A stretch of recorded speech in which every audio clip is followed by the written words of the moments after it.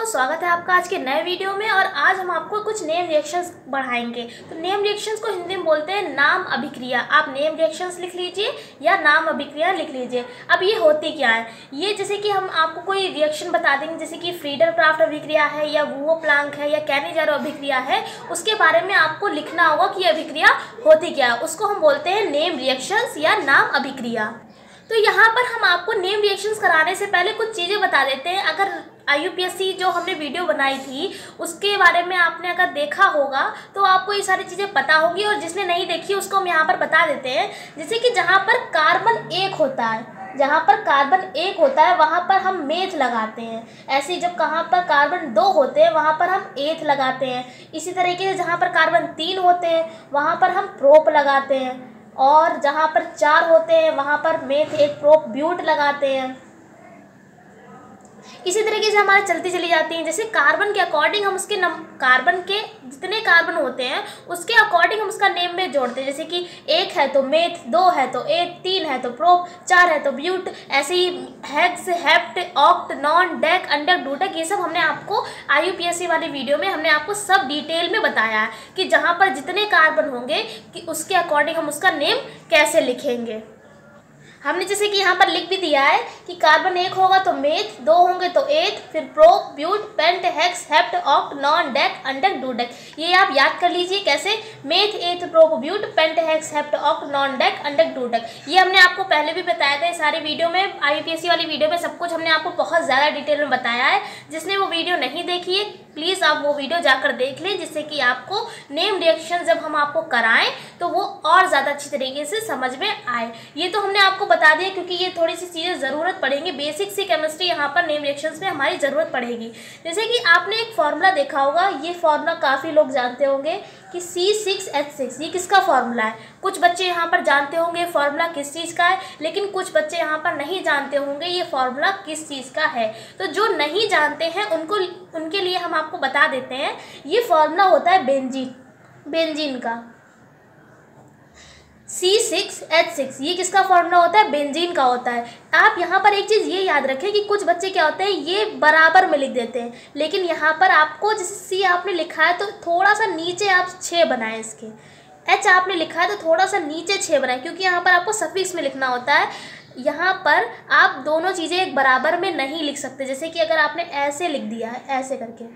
तो वो चीज़ आपकी गलत हो जाएगी, क्योंकि ये कोई, इस तरीके से कोई फॉर्मूला ही नहीं लिखा जाता है। जो नंबर होते हैं, या तो उसके नीचे लिखे जाते हैं, या गुड़े में होते हैं तो उसके आगे लिखे जाते हैं। लेकिन यहाँ पर इस तरीके से कोई चीज़ नहीं लिखी जाएगी। ये पहली चीज़ है, आपको समझ लीजिए, कुछ बच्चे यहाँ पर बहुत ज़्यादा मिस्टेक कर देते हैं, जिसकी वजह से अगर आपका फॉर्मूला भी सही होता है, वहाँ पर आपका कार्ड दिया जाता है। पहली चीज़ आपको, ये हमने आपको बता दी है। फिर दूसरी बात, ये फॉर्मूला किसका है? बेंजिन का है।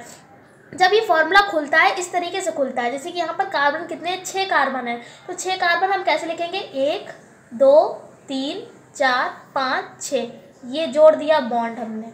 ये हमने आपको बताया था, ये क्या होती है? लाइनें खींच रहे हैं, इसको हम बोलते हैं सिंगल बॉन्ड एक लाइन खींची तो सिंगल बॉन्ड दो लाइन खींचेंगे तो डबल बॉन्ड तीन लाइन खींचेंगे तो ट्रिपल बॉन्ड और फिर तीन ही बॉन्ड होते हैं तो हमने तीनों बॉन्ड के बारे में भी हमने आपको बताया था।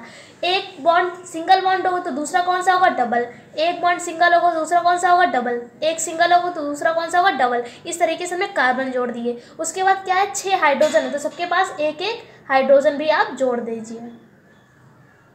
जैसे कि इस तरीके से। देखिए, यहाँ पर कार्बन कितने थे? छः एक, दो, तीन, चार, पाँच छः छः कार्बन हो गए? हाइड्रोजन कितने छः एक, दो, तीन, चार, पाँच छः छः हाइड्रोजन हो गए। इस तरीके से हमारी क्या बनती है? बेंजीन की संरचना बनती है। हमने आपको ये क्यों बताया? क्योंकि ये आपको पता होना चाहिए कि बेंजीन की संरचना किस तरीके से खुलती है। यहाँ पर कुछ बच्चे अगर जिनको इस तरीके से नहीं खोलना तो वो उस तरीके से खोलेंगे। सी सी सी क्योंकि हमने आपको बताया था आई में कार्बन हमेशा कहाँ रहता है? बीच में रहता है। एक, दो, तीन, चार, पाँच पाँच छः छः कार्बन लिख लिया अब यहाँ पर बताइए, अगर हम छः हाइड्रोजन जोड़ दें, यहाँ पर देखिए हमने यहाँ छः हाइड्रोजन जोड़ दिए।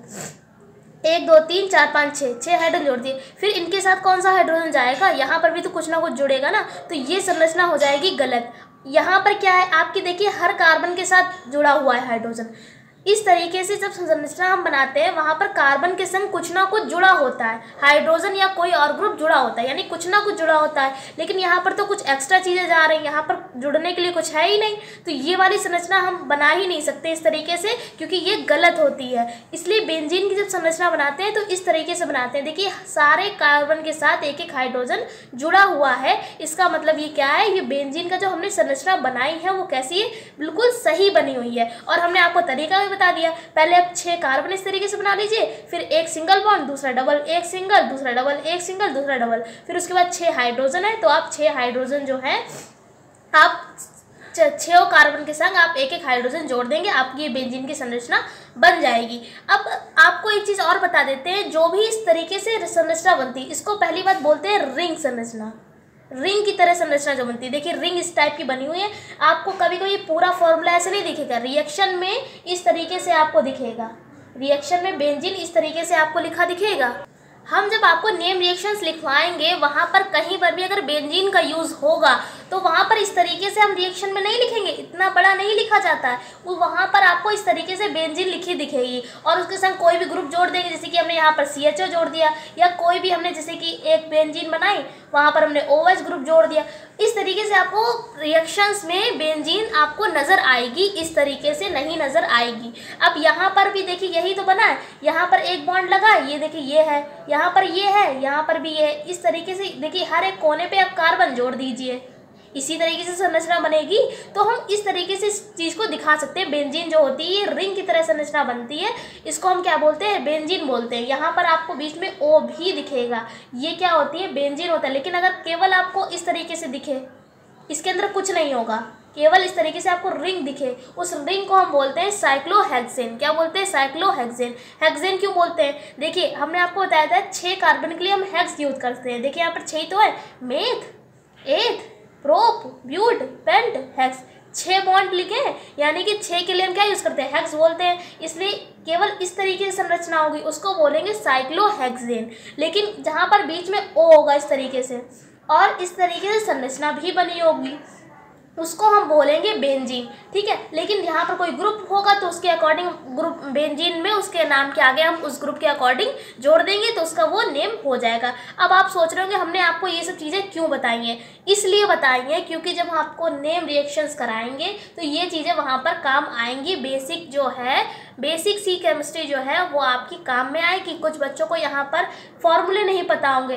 जैसे कि एन होता है, ये कॉस्टिक सोडा होता है, सभी को पता होता है। ये कॉस्टिक सोडा है या हम इसको बोल सकते हैं सोडियम हाइड्रोक्साइड कहीं पर भी ओ OH लगा होता है और उसका नाम बताना होता है तो ओ OH के लिए हमेशा हाइड्रोक्साइड का यूज़ करते हैं। एन किसका फॉर्मूला एन को हम बोलते हैं सोडियम और ओ OH है तो क्या बोलेंगे? हाइड्रोक्साइड जैसे कि अगर आ गया है सी सी एच है तो सी ए को बोलते हैं कैल्शियम एच लगाए तो हाइड्रोक्साइड सी ए हाइड्रोक्साइड मतलब कैल्शियम हाइड्रोक्साइड हो जाएगा। इस तरीके से जहाँ पर भी ओ एच लगा होगा, वहाँ पर हाइड्रोक्साइड पढ़ते हैं।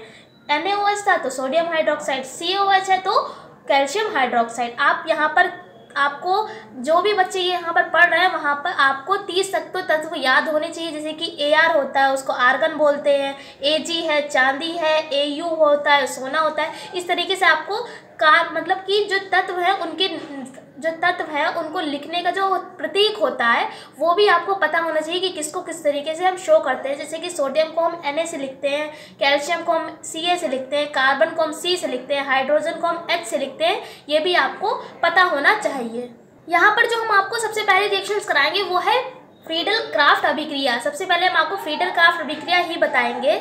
इस रिएक्शन में आपको इस चीज़ की ज़रूरत पड़ेगी, बेंजीन की। तो हमने आपको बेंजीन की संरचना भी बता दिया और फॉर्मूला भी बता दिया है। और एक चीज़ इस रिएक्शन में और ज़रूरत पड़ेगी C S three C L ये C S three C L क्या है? C S three C L को हम बोलते हैं एल्किल हेलाइड जैसे कि यहाँ पर आप इसको मेथिल क्लोराइड बोल सकते हैं, लेकिन एल्किल हेलाइड क्या होता है? एल्किल हेलाइड का मतलब होता है जो भी एल्केन वाले होते हैं कंपाउंड जो भी एल्केन वाले समूह होते हैं, उनको हम बोलते हैं एल्किल और हेलाइट का मतलब है यहाँ पर हमने हेलाइड में क्लोराइड लिया है। हेलाइट का मतलब होता है आप यहाँ पर सी भी ले सकते हैं आई भी ले सकते हैं या बी भी ले सकते हैं। जैसे कि हमने हेलाइड में आपका क्लोराइड लिया है, यहाँ पर आप सी की जगह पर बी ले सकते हैं या आई भी ले सकते हैं, वो भी क्या कहलाएँगे? हेलाइड ही कहलाएँगे। इसको हम बोलते हैं हेलाइड। और एल्किल का मतलब भी हमने आपको बता दिया है। एल्किल का मतलब होता है जो भी एल्केन वाले होते हैं, जो भी सिंगल बॉन्ड वाले होते हैं। जैसे कि यहाँ पर सी एस थ्री है। यहाँ पर सिंगल बॉन्ड वाला ही है। मतलब ये सी एस थ्री क्या है? एल्केन है। इसलिए हम इस पूरे का नाम क्या बोलेंगे? एल्किल हेलाइड बोलेंगे। अगर इस तरीके से आ जाए C two H five C L या C two H five C L की जगह पर हम बी आर ले लें या आई ले लें, कुछ भी ले लें, यहाँ पर हेलाइड। तो यहाँ पर इसको आप क्या बोलेंगे? ये भी एल्किल हेलाइड ही है। ये क्या है? ये भी एल्किल हेलाइड ही है, क्योंकि यहाँ पर देखिए सी टू एच फाइव क्या है? एथेन का फॉर्मूला है, और एथेन है, ये भी एल्केन ही तो है। C two H five alkane ही है। तो यहाँ पर इसको हम इसको भी बोल सकते हैं एल्किल हेलाइड है। अगर लेकिन अगर हम आपसे कहें, ये क्या है? C six H five C L ये क्या है? तो यहाँ पर आप बोलेंगे, ये क्या है? एरिल हेलाइड है। यहाँ पर नेम रिएक्शंस में आपको दो हेलाइट यूज़ होंगे, एक एल्किल और एक एरिल यहाँ पर एल्किल हेलाइट के बारे में हम आपको बता चुके हैं एल्किल हेलाइट क्या होंगे, जहाँ पर एल्केन वाले होंगे. जो भी एल्केन होगा, उसके संग में कोई हेलाइड लिखा होगा, वो क्या होगा एल्किल हेलाइट लेकिन एरिल हेलाइड क्या होगा, जैसे कि यहाँ पर मैं सी सिक्स एच फाइव ले लिया मतलब जो रिंग वाला ले लिया था, ये बेंजीन वाला. तो ये क्या कहलाया था, हमारा एरिल हेलाइड कहलाएगा. जहाँ पर भी एल्केन होगा, वो क्या कहलाएगा एल्किल हेलाइट और जहाँ पर भी कोई रिंग टाइप का होगा, वहाँ पर क्या कहेंगे हम, ये क्या है? एरिल हेलाइड है। और हेलाइड में भी हम आपको बता चुके हैं, जहाँ पर सी एल बी आर या आई या कुछ भी ऐसा होगा, वहाँ पर हम क्या कहेंगे, ये हेलाइड है। क्या है? हेलाइड है। आशा करते हैं कि आपको ये ये एल्किल और एरल के बारे में समझ में आया हो यहाँ पर इस रिएक्शन में आपको एक फॉर्मूला और यूज़ होगा, उसके बारे में भी हम आपको बता देते हैं। ये एच सी एल क्या होता है? एच सी एल यहाँ पर कुछ बच्चे जानते होंगे एच सी एल क्या होता है, लेकिन कुछ यहाँ पर नहीं जानते होंगे कि एच सी एल क्या होता है। जो नहीं जानते उसको हम बता देते हैं कि एच सी एल को बोलते हैं हाइड्रोजन क्लोराइड एच क्या है? हाइड्रोजन सी एल क्या है? क्लोराइड तो इसको, इसका नाम क्या हो जाएगा? हाइड्रोजन क्लोराइड जिसको हम हाइड्रोक्लोरिक एसिड भी बोलते हैं। तो ठीक है, आपको यहाँ पर हमने बता दिया है एच सी एल भी बता दिया है और यहाँ पर सी सिक्स एच सिक्स भी बता दिया है। यहाँ पर ये बेंजीन है, ये क्या है? हाइड्रोक्लोरिक एसिड है और यहाँ पर हमने आपको C S three C L भी बता दिया है। तो हम आज की आपको पहली रिएक्शन बताएँगे फ्रीडल क्राफ्ट, अभिक्रिया। ये पहली अभिक्रिया है और एग्ज़ाम्स में ये अभिक्रियाएँ आती ही आती हैं। ज़रूरी नहीं है कि फ्रीडल क्राफ्ट भी है, कोई भी नेम रिएक्शन आती ही आती एग्ज़ाम्स में है। यहाँ पर देखिए, हमने लिख दी है फ्रीडल क्राफ्ट, अभिक्रिया क्या होती है? वह रासायनिक अभिक्रिया जिसमें बेंजीन या किसी भी एरोमेटिक हाइड्रोकार्बन ये हमने आपको बताया कि देखिए बेंजीन क्या होता है? ये जो हमने इस तरीके से संरचना बनाई थी, देखिए। ये जो इस तरीके से संरचना बनाई थी, इसको हम बोलते हैं बेंजीन इसको रिएक्शन में हम इस तरीके से दिखाते हैं बेंजीन को, लेकिन यहाँ पर एरोमेटिक हाइड्रोकार्बन का मतलब ये होता है कि जो भी इस रिंग की तरह संरचना बनाएगा, चाहे वो ये भी हो सकती है, कोई भी ऐसी संरचना जो इस रिंग की तरह बनी हो, उसको हम बोलते हैं एरोमेटिक हाइड्रोकार्बन यहाँ पर आप सी सिक्स एच सिक्स की जगह पे ऐसी कोई भी संरचना ले सकते हैं जो रिंग की तरह हो. तो वहाँ पर हम उसको बोलेंगे एरोमेटिक हाइड्रोकार्बन यहाँ पर इसलिए लिखा है कि बेंजीन या किसी भी एरोमेटिक हाइड्रोकार्बन मतलब क्या है, आप बेंजीन भी ले सकते हैं या कोई भी एरोमेटिक हाइड्रोकार्बन ले सकते हैं। अगर उसकी जब आप एल्किल हेलाइड से क्रिया कराएँगे एल्किल हेलाइड के बारे में भी हमने आपको बताया, जहाँ पर एल्केन होगा और हेलाइड कोई भी हो सकता है, जैसे सी एल या बी आर या आई कुछ भी हो सकता है हेलाइड वो क्या कहलाएगा? एल्किल हेलाइड कहलाएगा। तो यहाँ पर हमने एल्किल हेलाइड में C S three C L लिया हुआ है। जब आप इसकी रिएक्शन कराएँगे तो क्या बनेगा? अब इसमें एक चीज़ और याद रखिए कि जो फ्रीडल क्राफ्ट अभिक्रिया होती है, वो निर्जल एल सी एल थ्री की उपस्थिति में होती है। ये एग्ज़ाम्स में पूछा ऐसे भी जा सकता है कि कौन सी अभिक्रिया निर्जल एल सी एल थ्री की उपस्थिति में होती है। निर्जल का मतलब जहाँ पर जल नहीं होगा वाटर जहाँ पर नहीं होगा, वहाँ पर क्या होगा? निर्जल बोलते हैं। निर्जल एल सी एल थ्री की उपस्थिति में कौन सी अभिक्रिया होती है? फ्रीडल क्राफ्ट अभिक्रिया होती है और एक रिएक्शन और होती है जिसमें निर्जल एल सी एल थ्री की उपस्थिति होती है, वो हम आपको आगे बताएँगे। लेकिन यहाँ पर आप ये चीज़ ज़रूर याद कर लीजिए लीजिए कि ये ऐसी अभिक्रिया है जिसमें हमें निर्जल एल की उपस्थिति करनी होती है। वो कौन सी होती है? फ्रीडल क्राफ्ट अभिक्रिया होती है। यहाँ पर हमने आपको क्या बताया कि बेंजीन या कोई भी एल्किल हेलाइड बेंजीन की जब आप एल्किल हेलाइड से क्रिया कराएँगे तो क्या बनेगा हमारा? C six H five C L C H three बनेगा। इसका नाम होता है टालुइन ये किसका फॉर्मूला है? टालुइन का है क्या है? C six H five C H three ये किसका फॉर्मूला है? टालुइन का फॉर्मूला है और C H C H C H C L किसका फॉर्मूला है? एच सी एल को हम बोलते हैं हाइड्रोक्लोरिक एसिड इसके बारे में भी हमने आपको बता दिया था रिएक्शन कराने से पहले. तो जब आप इसकी रिएक्शन कराएँगे तो क्या बनेगी? हमारी टालुइन बनेगी. ये कभी कभी एग्ज़ाम्स में ये तो आते ही हैं कि कैसे प्राप्त करें? क्या बनाएँ? तो ये तो आता ही है। ऐसे भी आ सकता है कि बेंजीन के जब हम एल्किल हाइड से क्रिया करते हैं तो क्या बनता है? तो अगर आपको रिएक्शन याद होगी तो आप लिख सकते हैं, क्या बनेगा? टैलोन बनेगा। और देखिए, यहाँ पर रटने की कोई ज़रूरत ही नहीं है। आपको बताते हैं यहाँ पर बना कैसे। यहाँ पर देखिए हाइड्रोजन कितने? छः हाइड्रोजन है। हाइड्रोजन कितने? छः हैं। यहाँ पर से हमने एक हाइड्रोजन इसको दे दिया, यहाँ पर। इसका एक हाइड्रोजन हमने इसको दे दिया। ठीक है? और जो C L C S three था, उसको यहाँ पर लिया है। तो देखिए क्या बनेगा? सी सिक्स तो ऐसे ही रहा। बस यहाँ पर जब हमने एक हाइड्रोजन इसको दे दिया सी एल के पास एक भेज दिया एक हाइड्रोजन को हमने तो यहाँ पर कितने हाइड्रोजन बचेंगे? पाँच हाइड्रोजन बचेंगे। पाँच हाइड्रोजन लिख लिए। और हमने आपको बताया सी एस थ्री को इधर भेज दीजिए। तो यहाँ पर सी एस थ्री को हमने इधर भेज दिया तो इसका हो जाएगा C six H five C S three अब जब हमने एक एच को इधर भेजा था तो यहाँ पर कितने हो जाएगा? क्या हो जाएगा? एच सी एल बन जाएगा। जब एक हाइड्रोजन को इधर भेजेंगे तो क्या बन जाएगा? एचसीएल बन जाएगा। क्योंकि देखिए सीएल पहले से था, एक एच और पहुँच गया तो क्या हो जाएगा? एचसीएल हो जाएगा। तो यहाँ पर ये रिएक्शन हमें आपको बता दी है कि कैसे करी। बस आपको ये याद रखना है कि बेंजीन की हम किससे कराएँगे? एल्किल हेलाइट से क्रिया कराएँगे। क्या बनेगा? टालुइन बनेगा। और फिर जो बचता है, वो हम ऐसे लिख देंगे। जैसे यहाँ पर एच बचा है तो हमने एच लिख दिया।